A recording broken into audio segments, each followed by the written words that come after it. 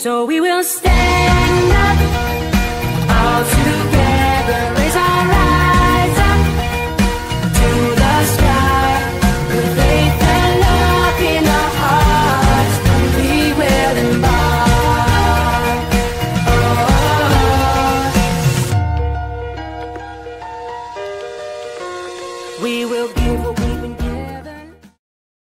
fellow lads, today since Kenzie to the moment entertainer, the most inspirational woman in all of Ayrshire today. Uh, here we go, uh, second part of Two for Tuesdays.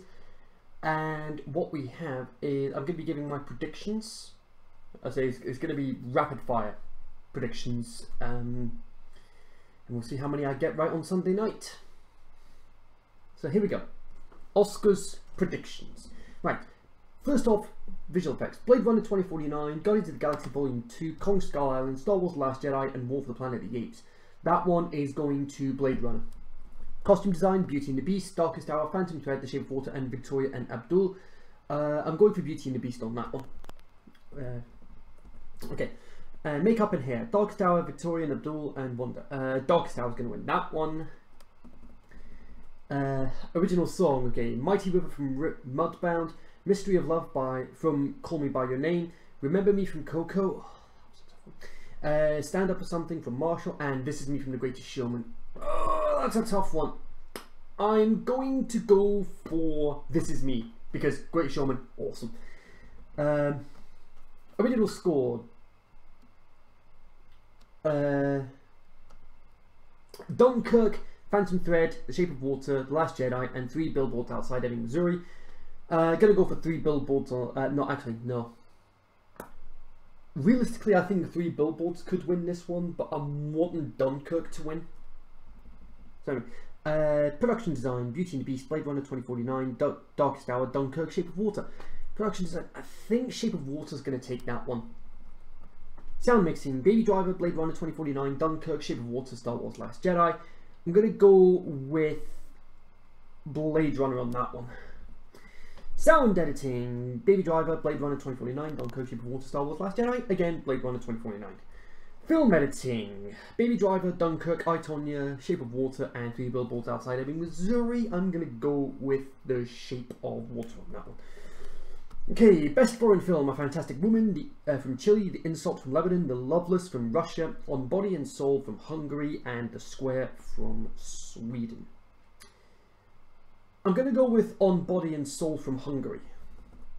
Best live action short film: DeKalb Elementary, 11, The 11 O'Clock, My Nephew Emmett, The Silent Child, and Watu Wote slash Us.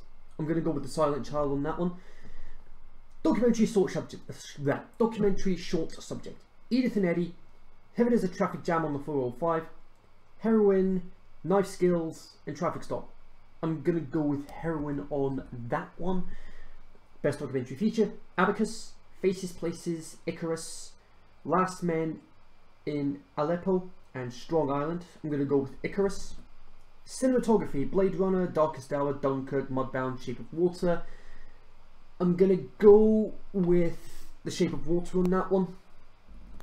Original screenplay: The Big Sick, Get Out, Ladybird, The Shape of Water, Three Billboards Outside in Missouri. Again, Shape of Water on that one. Adapted screenplay: Call Me by Your Name, The Disaster Artist, Logan, Molly's Game, and Mudbound. I'm gonna go with Logan. Animated short: Dear Basketball, Garden Party, Lou, Negative Space, Revolting Rhymes. I'm gonna go with Lou because Disney always do well with their their animated stuff. Talking of animated features, uh, The Boss Baby, The Breadwinner, Coco, Ferdinand, and Loving Vincent. Coco's going to win that one because Disney have been on a roll recently. It wouldn't, too, wouldn't surprise me too much.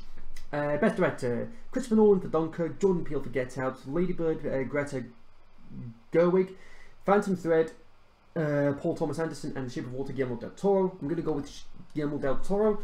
Supporting actress, Mary J. Blige on Mudbound, Allison Janney, Janney from I, Tonya, Lesley Manville, Phantom Thread, Laurie Metcalf, Ladybird, and Octavia Spencer for The Shape of Water. I'm gonna go with Octavia Spencer. Supporting actor, Willem Dafoe for The Florida Project, Woody Harrelson, Three Billboards Outside Ebbing, Missouri, Richard Jenkins, The Shape of Water, Christopher Plummer, Old Money in the World, and Sam Rockwell, Three Billboards Outside Ebbing, Missouri. I'm gonna go with Harrelson on that one. Okay, Right. Here we go. Uh, lead actress Sally Hawkins, The Shape of Water. Frances McDormand, Three Billboards Outside Ebbing, Missouri. Margot Robbie, I Tonya. Saoirse, of course. Twice I've done that now. Uh, was it the BAFTAs? Uh, Saoirse Ronan for Ladybird and Meryl Streep for The Post. I'm going to go with Meryl Streep on The Post. In The Post. Uh, let's see. Lead actor. Here we go. Um, Timothy Chalamet, uh, Chalamet for Call Me By Your Name. Daniel Day-Lewis for Phantom Thread. Daniel Kaluuya for Get Out. Gary Oldman for Darkest Hour. Denzel Washington for Ro- Roman J. Israel-esque. I don't know. I'm going to go with Gary Oldman. And now the big one.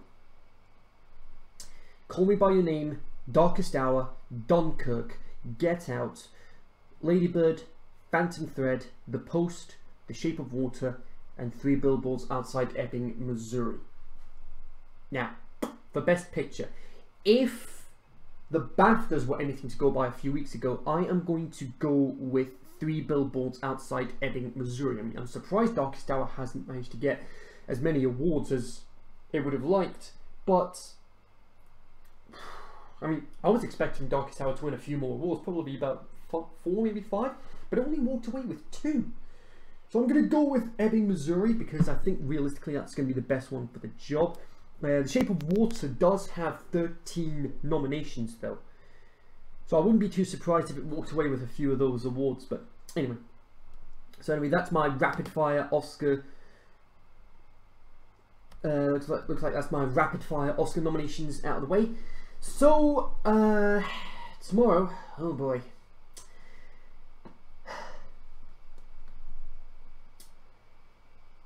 Gonna be giving my thoughts on uh, the latest episode of The Walking Dead. Spoilers will be in place if you haven't seen the episode yet.